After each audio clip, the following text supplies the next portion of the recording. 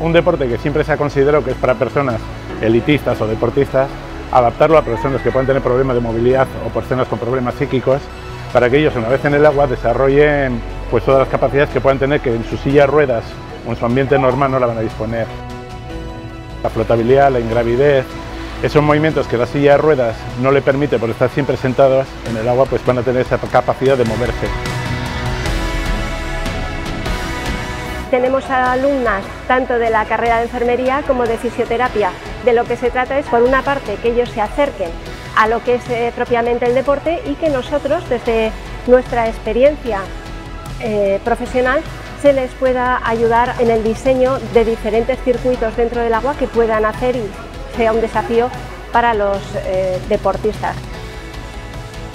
Estas personas que creen que no van a ser capaces, al ponerles estos materiales, descubren un mundo que para ellos era hasta ese momento inalcanzable. A nivel de autoestima también. El hacer algo que ellos pensaban que lo podían hacer militares o personal deportistas, hacerlo ellos, para ellos es un avance fuertísimo hacia, a nivel cognitivo, hacia, a nivel de autoestima. El deporte eh, para las personas con diversidad funcional no es un hobby, es un derecho como todos tenemos a practicarlo y el buceo es eh, uno más que ellos pueden practicar.